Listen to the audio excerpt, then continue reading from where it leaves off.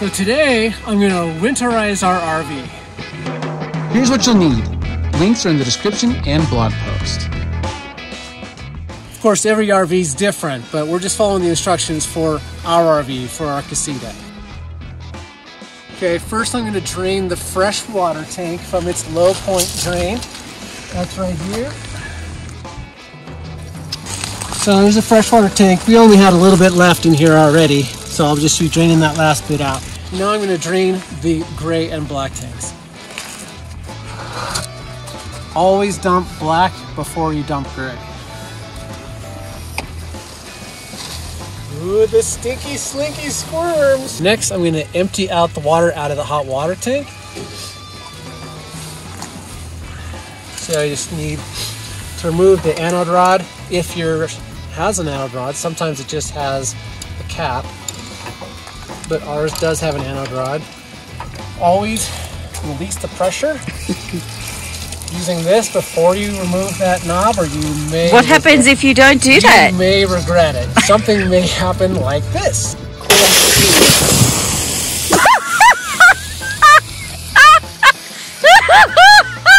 Always remove that pressure, especially if it's hot. If you had hot water, it's going to be extra high pressure in here. This is the anode rod I just pulled out. This is the new one I'm going to replace it with. This is what you want it to look like. This degrades as, as a sacrificial element to protect the water tank, so it degrades this instead of tank. My best guess is this is the original anode rod. It's about two years old at this point.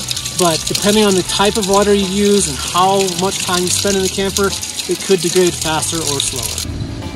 Okay, I put the plumber's tape back on this new anode rod and I'm gonna put that in here. Now we're gonna hook up an air compressor to the city water inlet and blow all the remaining water out of the water lines. We have a Viair air compressor, that's what we use. We've, really, we've had this for years and love it. So I'll hook this up to the batteries. And it, the car does need to be running to get enough power to run this compressor for it. But let me get it all set up first. And so we have the Viair winterization kit. So this is the adapter that screws into the city water inlet that allows your air hose to connect. This is the gauge to help protect it from getting too highly pressured. So, and then that just connects to this and you turn it on and blow the air out.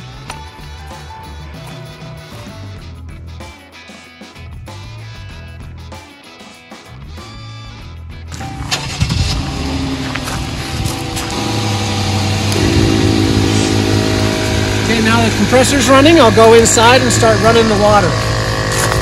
Okay, drain the faucets. So I've got water coming out now. Quickly turns to air. I'll do the cold and let's do the hot on the shower head.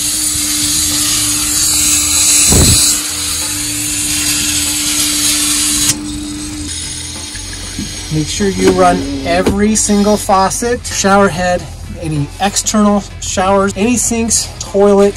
Some RVs have dishwashers or laundry machines. Make sure you get the water blown out of every line that has anything in water. You do both hot and cold. Through then get the antifreeze into all those lines. Okay, now that I've got all of the water out of the lines, I'm gonna seal the bottom of the fresh tank, put that drain back in. I'm also gonna go underneath the bed and access the hot water tank and do the bypass valve so I do not refill the hot water tank with my RV antifreeze. The water will be going right past it with the bypass. And so when I put all the new antifreeze into the fresh tank, the pump will then drive that antifreeze into all the lines so that all the lines are protected.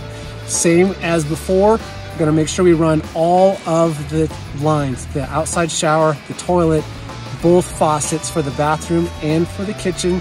If you have a more advanced RV, there's gonna be many more things you need to make sure that the antifreeze gets into.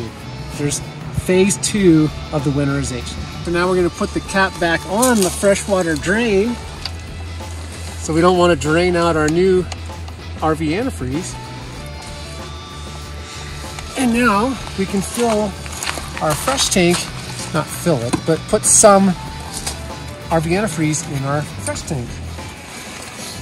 I got a couple new jugs, but these two jugs are what I kept from last year. So if you do this right, you can actually reuse a lot of the antifreeze you used from the previous year. And I'd recommend bringing a funnel next time. All right, so I'm at a campground and I forgot my funnel at home, so I just took a water bottle and I cut a hole in it. So hopefully this will work as my funnel today. That's what RV life is all about improvisation. Improvisation. You should put this in an RV hacks book. I should. Just look at how Look at this! It is working beautifully. Our RV is pretty small, so we only need a couple gallons.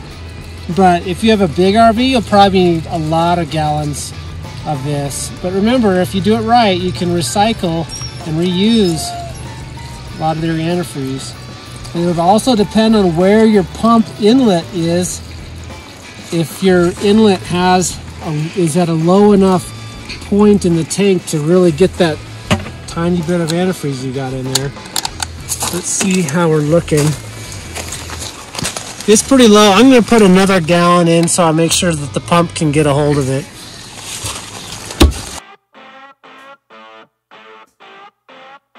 Okay, so I got about three gallons of antifreeze in here now, so you can see the pink down here. So that should be enough for the pump to fill the lines and start coming out.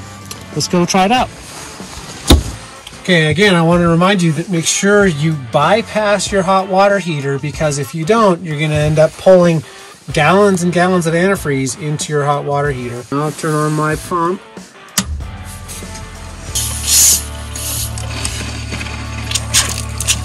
Wait till it comes out pink. Okay, that's the cold line. Let's do the hot line.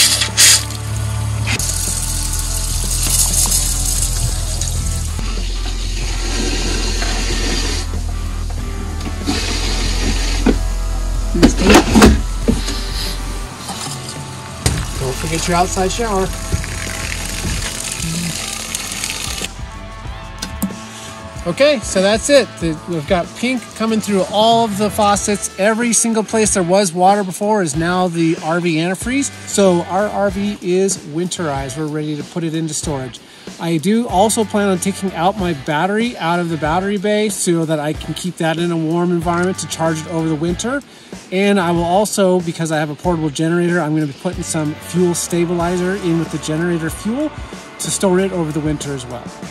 Every RV is different, but I'm going to put the steps that we follow to winterize our camper over at our blog post over at rvlove.com. All the links are down below in the description. If you have any questions or comments, please leave them in the comment section below. Thanks for watching, and until next time, we'll see you on the road.